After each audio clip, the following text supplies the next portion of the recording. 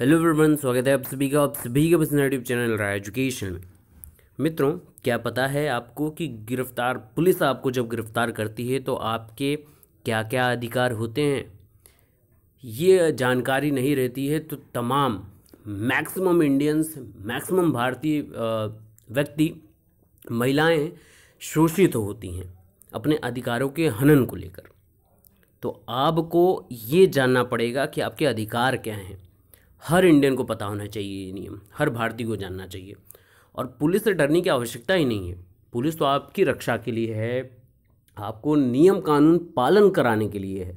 न कि आपके ऊपर नियम कानून थोपने और आपके ऊपर एकाधिकार कार्य करने के लिए। है तो आइए आज की इस वीडियो में यहीं ढेर सारे नियमों को, कानूनों को हम लोग जानने की कोशिश करेंगे जो हमारे अधिकार हैं, जब पुलिस हमको गिरफ़्तार करती है या वो चाहती है गिरफ़्तार करना तो उसको किस नियम के तहत आपको क्रियाकलाप कराना पड़ता है?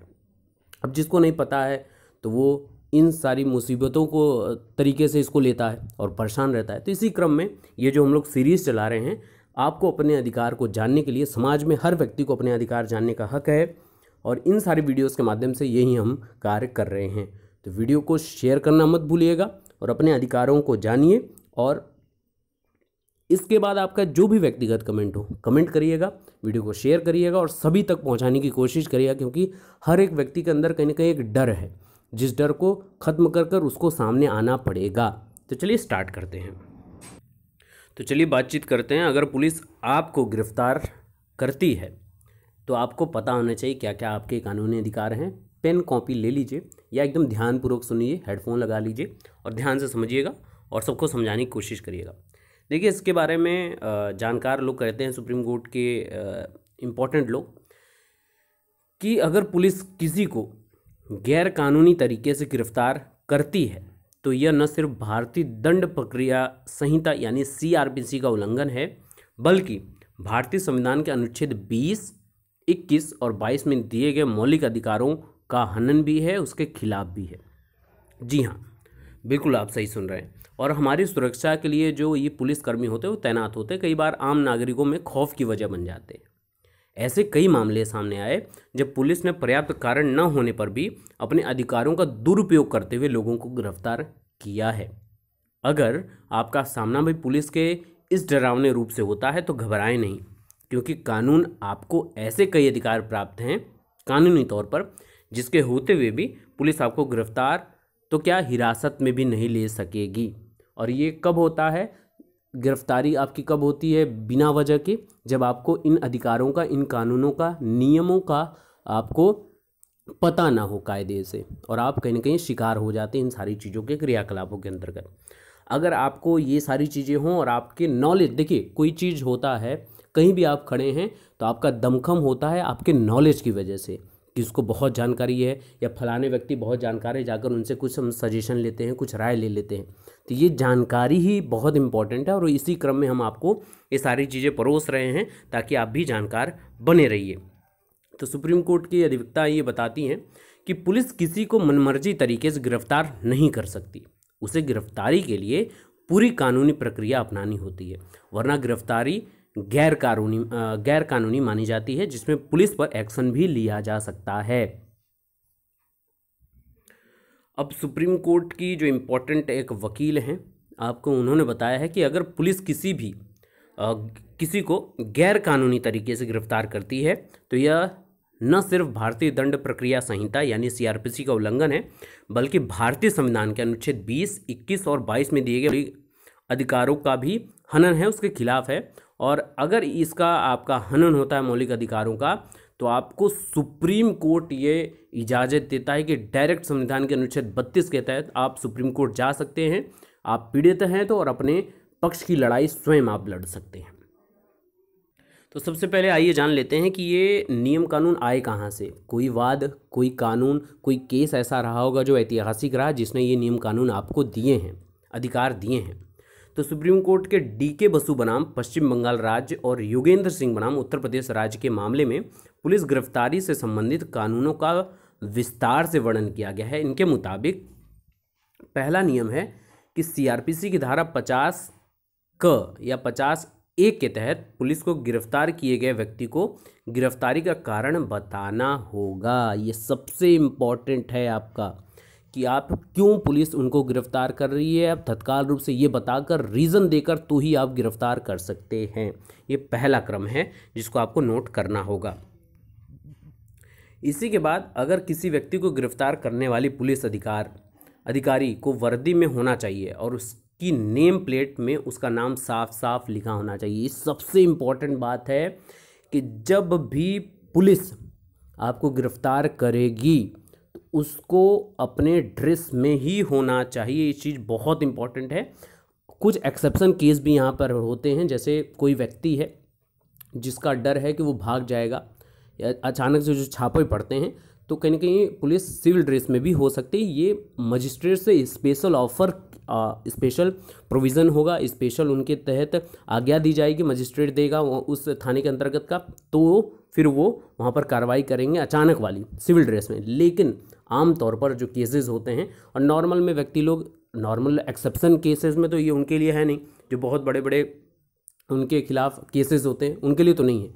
आम व्यक्तियों के लिए है, जो बेफजूल की डर जिनके मन में है, पुलिस के प्रति, कि कुछ होना हो, डर रहता है तो ये कानून आपको मदद करेंगे। सीआरपीसी की धारा इकतालीस बी के मुताबिक पुलिस को अरेस्ट मेमो तैयार करना होगा। यानी कि जब आपको अरेस्ट किया जा रहा है पहली बात तो आपको रीज़न बताना है पुलिस को। आपको पुलिस बताएगी कि मैं ये फलाने फलाने रीज़न की वजह से आपको हम हिरासत में ले रहे हैं पहली बात। दूसरी बात वो पूरे ड्रेस में होने चाहिए। और तीसरी बात तुरंत वहाँ पर आपका अरेस्ट मेमो अरेस्ट मेमो बनाया जाएगा।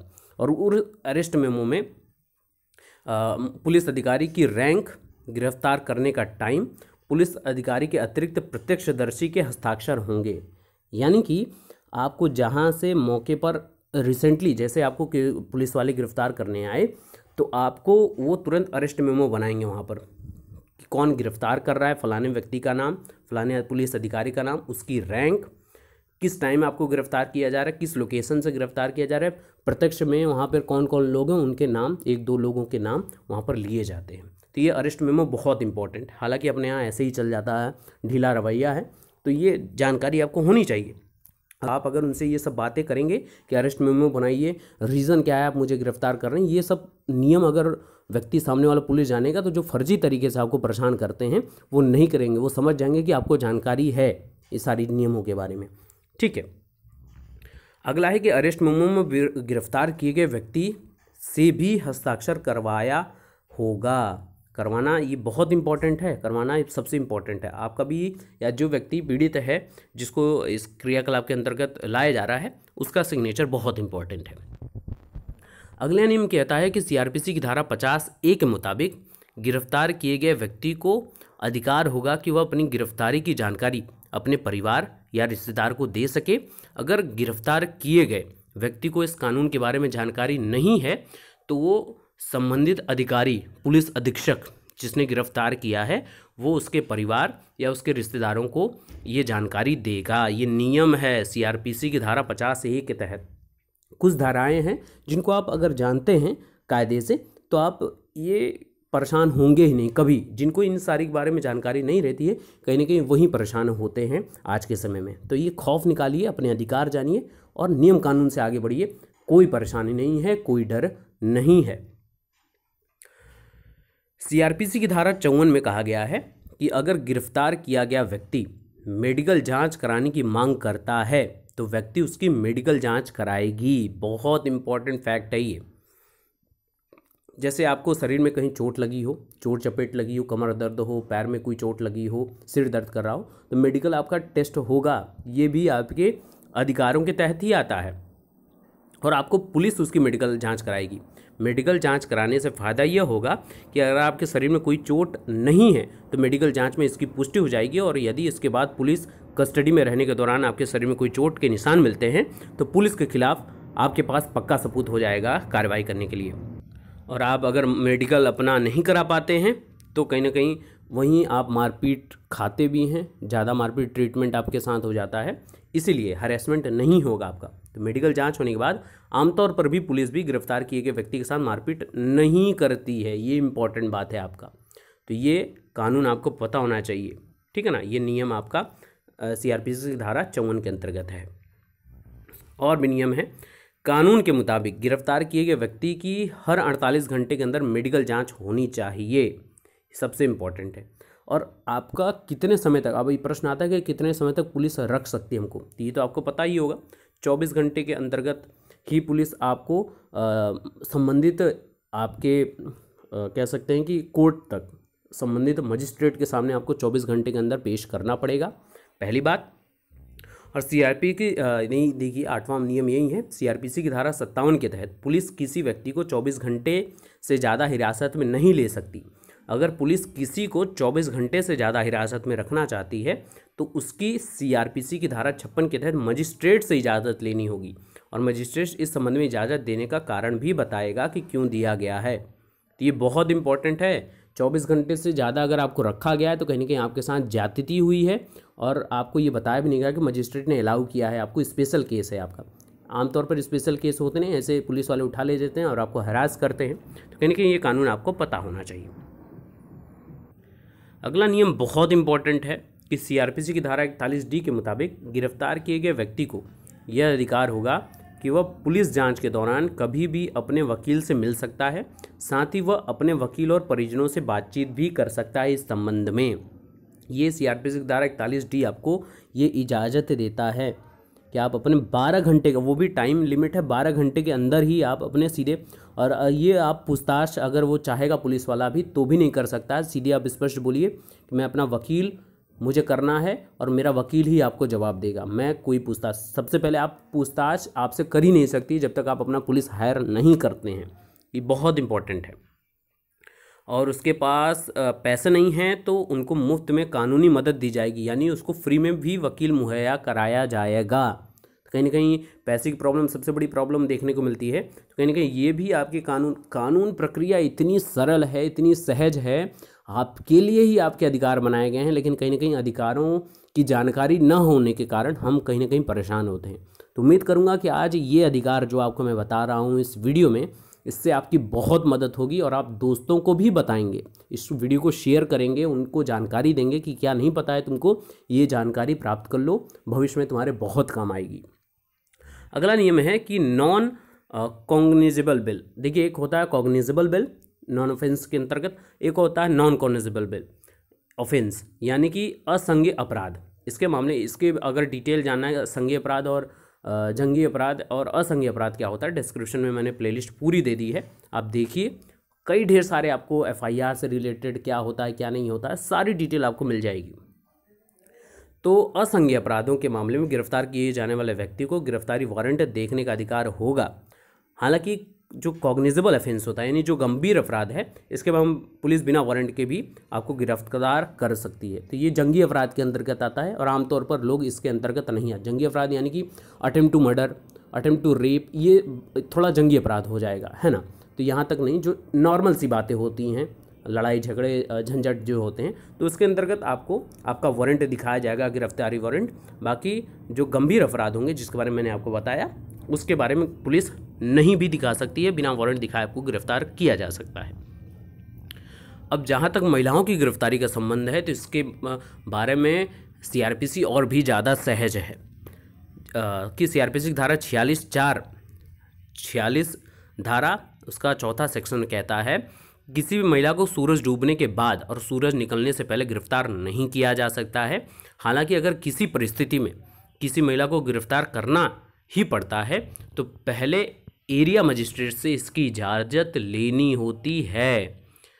फिर भी इस, ये बहुत इंपॉर्टेंट है कि गिरफ्तारी जो पुलिस किसी महिला की करेगी तो महिला कांस्टेबल या महिला पुलिस ही करेगी। पुरुष, पुलिस को इजाज़त बिल्कुल भी नहीं है छूने का। ये बहुत बड़ा नियम है जो हमारी महिलाओं, हमारी बहनों को पता होना चाहिए।